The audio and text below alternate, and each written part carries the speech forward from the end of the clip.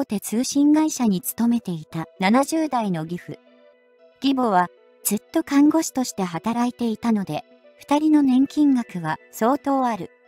なのに、いつもお金がないという。家の中には見当たらなかったから買ったという卓上コンロが毎年増え、営業に頼まれたから買った食品で溢れ、必要性がないのに通販で買った羽毛布団だの服だのが大量。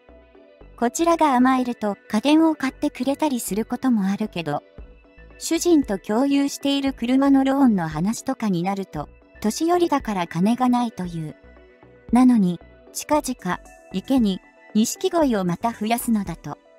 10万円のスマホも安物呼ばわりして、お前たちも買えるだろうって。多分、義父は、夫の月収だけで30、40万は稼いでると思ってるんだろうな。うちの親は、よく、誰それは働いてないから、胃の中のカエルだと、人のことを言っていたけど、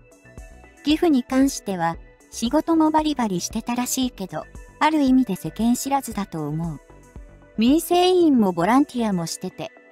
世の中の一般的な経済状況は知ってそうなんだけどな。悪い人じゃないのはわかるんだけど、言われるたびにイラッとする。私たちはあなたの現役時代のように、24時間働けますか？と歌われながら反論したり、働いた分だけお給料に反映されていた時代とは違う。必死に毎日働いて、当てにならない年金を納めて、子供が何人か欲しくても、経済的な理由で数を絞って、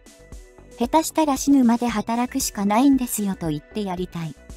錦鯉買うお金があるなら、私たちに毎月援助してほしくなるわ。どうせまた、雪でダメになるのに。